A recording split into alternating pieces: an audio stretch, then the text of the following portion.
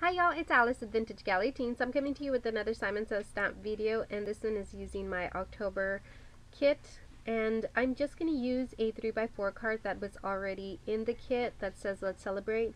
Then one of the 6x6 papers has a little banners on top so I'm just going to use my die to cut around that and give it that stitched look. I'll adhere that let's celebrate with some foam tabs um, I think I don't record myself actually adding about three gold hearts on this card, but I do add those three hearts and then I just place it on a heavy cardstock for the card itself and that's it. So I'll let you finish seeing this video with some music and I'll be back with more cards. Um, I have like about two videos left if I'm not mistaken. So stay tuned guys. Thanks.